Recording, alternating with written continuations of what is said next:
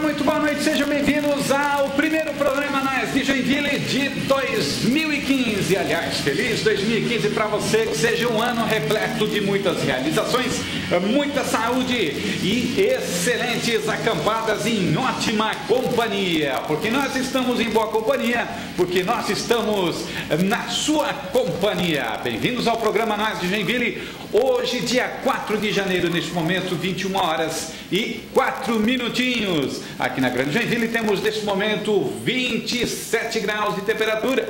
O vento que soprou aí do quadrante norte eh, durante boa parte do dia de hoje. Umidade relativa do ar em 79% eh, aqui na Manchester catarinense. Já vamos aí com atualizações é, das condições das rodovias nacionais, das, das rodovias é, estaduais, porque, segundo a Polícia Rodoviária Federal aqui em Santa Catarina, é, acabou de colocar aí no, na rede social Twitter, é, o PRF 191SC, onde você pode acompanhar as condições de trafegabilidade das principais rodovias federais do estado de Santa Catarina. E eles dizem o seguinte: é, neste início de noite de domingo, último dia do recesso de festas, o trânsito flui sem retenções, sem fila é, em boa parte das rodovias federais catarinenses. Segundo as polícias rodoviária federal e a estadual também,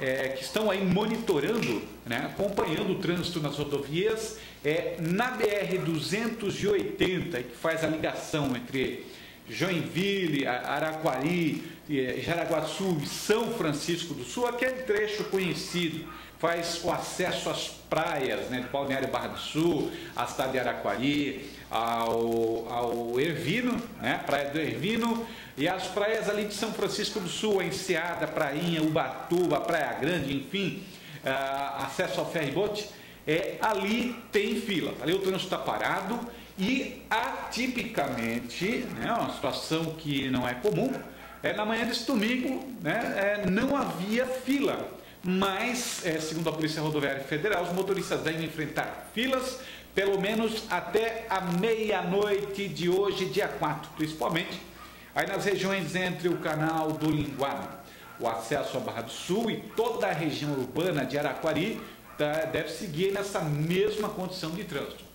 Já na BR-101, entre Balneário Pissarras e a divisa com o estado do Paraná, é, na região de Garuva, o trânsito é lento neste momento, mas fluindo, fluindo sem a ocorrência de acidentes, segundo a Polícia Rodoviária Federal. E também diz que a previsão é de que o fluxo aumente, né, é, principalmente agora na parte da noite, e até meia-noite deve seguir intenso. Já segundo a concessionária Litoral Sul, diz que a retenção na pista norte, sentido Curitiba, da BR-376, Serra de Curitiba, portanto, com filas nesse momento, do quilômetro 662 ao quilômetro 635, na região de Tijucas do Sul, ali no Paraná, devido justamente ao fluxo intenso de veículos. Já na pista sul, quem vem de Curitiba em direção a Joinville, é, os usuários seguem sem lentidão. O fluxo de veículos é, também é, é está sem lentidão em ambos os sentidos, são Paulo e Foz do Iguaçu, da BR-116 PR Contorno Leste. Na BR-101 SC, os usuários seguem é, sem retenção no sentido Curitiba e Joinville, como eu já disse, é, no início da noite de hoje, domingo, dia 4 é, de janeiro. E a, neblina né, no trecho da serra da BR-376, então, para quem está trafegando por ali, é a própria concessionária orienta, né, os usuários para que redobrem a atenção é, e reduzam a velocidade. Né? Portanto, é devido às condições de visibilidade. Aliás, o nosso operador de câmera, nosso cinegrafista, está nesse momento na Serra de Curitiba, está chegando na área aí, será? está chegando na área, então já manda aí, porque né, é, estamos botando o programa no ar em dois, aí, o primeiro programa do ano é eu e a Keila, que está fazendo a direção, toda essa parte aí, e fazendo a sonoplastia ao mesmo tempo, a iluminação, aí fica no chat ali, está difícil, dois aqui é a equipe mínima, enxuta, enxuta é três, né? em três, mesmo, mesmo assim cada um faz duas, três coisas, né? aí falta um, chega atrasado, mas está chegando agora, que é importante. Aqui uns 10 minutos eu vou descontar o salário do bichinho. Vou descontar o salário do bichinho. Está né? Tá chegando aí na área neste momento. Nós estamos aí no oferecimento da Vitória Motorhome, da Polo Trailer, é, também da Ponte Aérea Viagem, Turismo pela Europa, é, também do Aluc Motorhome, telefone 51, é 51 8535 0800. Também temos aí o apoio incondicional sempre ah, do site Macamp, o site que é uma explosão de visita. E para você que eh, vai ficando aqui pela região de Santa Catarina, vai curtindo aí os balneários da nossa região, saiba como vai estar o tempo ah, durante esta segunda, terça e quarta-feira aqui na região norte e nordeste do estado de Santa Catarina. Segundo a previsão do Pagre, é segunda-feira, amanhã, dia 5 de janeiro, nós teremos aí o sol aparecendo em boa parte do período, mas com chuvas a qualquer hora devido à formação de instabilidade isoladas, em pontos isolados do estado. Temperaturas que devem alcançar a máxima de 27 graus. Já para terça-feira, dia 6 de janeiro, é o sol aparece também com nuvens e o calor, 29 graus, 29 graus, portanto, na sexta-feira. Já para quarta-feira, dia 7 de janeiro, o sol aparece e teremos aí pancadas mais para o final do dia. É, e também calor de 31 graus durante a quarta-feira, dia de programa Nós de Joinville. Fase da Lua, em que nós encontramos agora, ainda é crescente. Mas se você der uma espiadela no céu, e é legal, né? É legal, dá uma espiadinha no céu, mas tanta gente, às vezes a esse ritmo louco das grandes cidades, esse ritmo frenético imposto pelo sistema, né, a gente esquece de olhar o, o céu, né, contemplar as estrelas, dar uma olhadinha na lua, que aliás hoje tem só um filetezinho, estava olhando agora em nuvens ali fora, só um filetezinho, mas já dá para considerar a lua cheia. Né? Embora calendário seja a lua crescente. Mas a lua, se você olhar no já está cheia, praticamente cheia. E nós que estamos aí no verão, aliás, o verão que continua até o dia 20 de março, quando então teremos aí o início do outono. Depois do outono, você sabe que vem o inverno, e aí vem a primavera, e aí começa tudo de novo, é verão, é calor. Mas um lance é esse para você que nos acompanha nesse momento ao vivo aqui no programa Nada Vigília, são 21 horas e 11 minutinhos. Gente, como é que está a manutenção do seu equipamento de campismo? Lembre-se, desde o dia 1 de janeiro, é, foi feita uma mudança no item é, de porte obrigatório no seu veículo, no seu equipamento de campismo, que é o extintor de incêndio. Até então, a categoria exigida era a BC, BC. E agora, a categoria exigida para ser extintor de incêndio é ABC. Sem dúvidas nenhuma, uma sacanagem. Uma sacanagem. Aliás, é, é, o governo tem que fiscalize isso aí.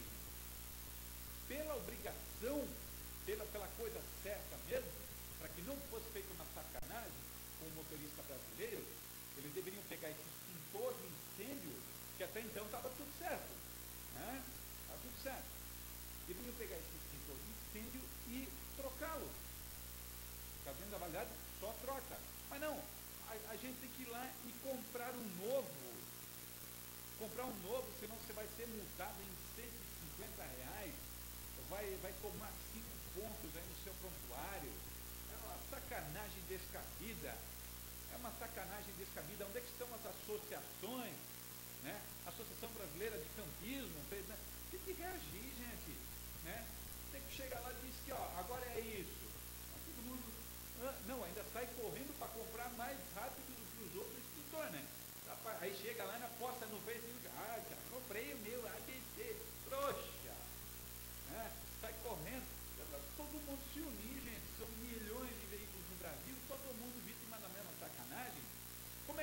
servia aquele pintor lá? O tal do BC. E agora não serve mais.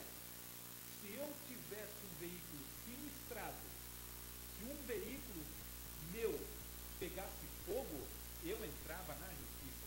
Eu entrava na justiça. Entrava. Entrava na justiça porque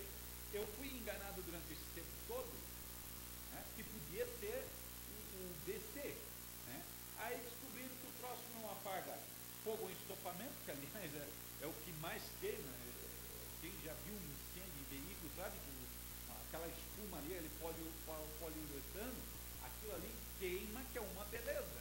E o tempo todo o cara lá, né, todos precisando daí, a turma tentando apagar e o troço não apagava. Era ineficiente, então. E só agora para mim. E o pior, aí dizem para você, você tem que ir lá e comprar um novo. E aquele teu, como é que fica? Deveria sim ser trocado sem ônus algum ao motorista. Mas não, mas não. O povo sai correndo, né? diz amém. Ah, mas é que ah, você está falando aí utopia. Não, Senhor, não, Senhor. O povo, eu sempre digo, não sabe a força que tem. A mesma coisa o campismo, né? sequer é reconhecido aí como modalidade turística em muitos, muitas cidades, muitos estados. Não quer nem saber levar de canto. É hotel, é hotel da dinheiro, né? hotel da mais dinheiro, mais status, mais elite né? sequer reconhece o Campinas.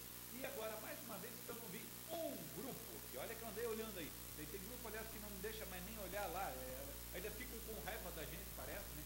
Ficam com, prestam um desserviço enquanto associação, e ainda parece que ficam bravos com a gente.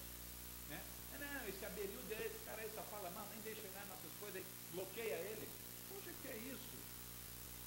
O que é isso? A nossa crítica aqui é construtiva se todos, todos têm que pegar um representante, um, par, um, um, um parlamentar disso aí, ó, chamar o cara e vem cá, vem cá, meu amigo, eu pago o teu salário. É, os caras não vêm. Vem sim. Vocês têm a mídia? Aqui o programa na Joinville é à disposição. Se quer que se dão ao trabalho de procurar o programa, né, para registrar a sua indignação. E aí querem que o campismo seja uma atividade bacana aqui no Brasil, né? sequer, eu não vi uma associação se manifestar. Se tiver, peço desculpas aqui, mas quero que me mandem, que me mandem o material com a data lá. Né? Com a data. Mas não, né? Saíram todo mundo correndo, aí tem gente que ainda posta lá, está faltando extintor. Isso aí é a maior sacanagem que estão fazendo com o motorista brasileiro e o campista também. Né? Ah, mas no meu trailer não tem extintor. Tá, mas no, no carro que puxa tem que ter no carro que puxa tem que ter. É, não, mas é por isso eu já uso barraco. Sim, mas é para você ir até o seu local de acampamento, como é que você faz? Carro, tem que vai em algum carro, seja alugado, não sabe quanto. Todo mundo depende do extintor. Né? Mas não, não vi uma associação se manifestar a respeito. Aqui em Joinville, o, o preço do extintor num revendedor, aí, num distribuidor, é 55 reais. Eu ouvi, eu ouvi dizer na rede social, tá lá, alguém postou, 180 reais. 180 em São Paulo também, meu Deus, isso, isso é uma sacanagem grande. Cadê a união dos campistas? Não tem, não tem união. E por isso que o campismo dá uma atividade aí, ó. Não estão nem aí, não tem política Tá, mas Campinas, não sei o que, é uma meia dúzia de, de, de rico. Bom, se a dúzia de rico, ainda vai lá, né? Mas pior, tem muita gente que posa de rico lá, né? E não é. Né? Não é. A casa de papel, né? Vai lá, tira onda, né? E né? paga de bacana e, né? Não, mas se a gente reclama é feio, vamos pensar que a gente é pobre. Ah, tá bom. Então vamos pensando assim. Vamos pensando assim, que assim nós vamos muito bem, obrigado muito bem, obrigado. E o governo fazendo sacanagem do jeito que quer, e o pessoal engolindo, né? engolindo, dizendo amém. Teve gente que foi lá, comprou esse então ainda postou a foto, né? Que sabe que está faltando. Eu garanti o meu, né? Aí depois, ah, eu paguei mais barato, né? Oh, meu Deus do céu, quanta mediocridade, meu Deus do céu.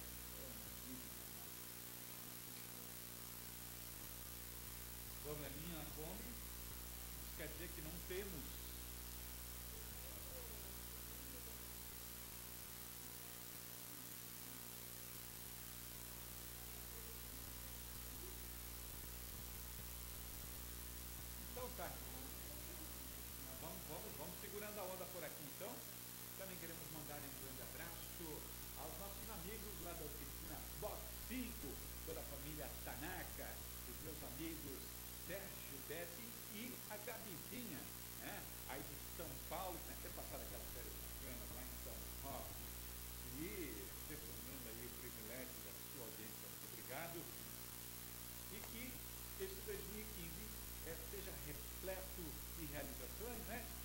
todo mundo, né?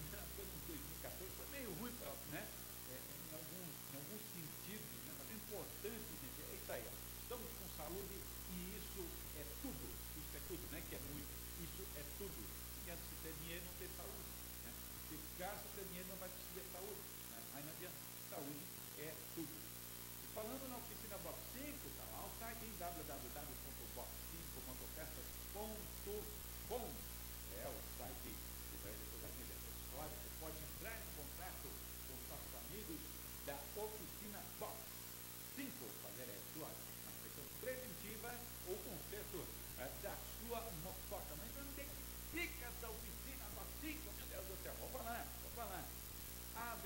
Dr. Lino de Moraes Leme, 1051, na Vila Paulista, em São Paulo. Avenida Dr. Lino de Moraes Leme, 1051. Dá uma entrada no site www.portoautos.com e você já pode comentar por ali, de repente, a sua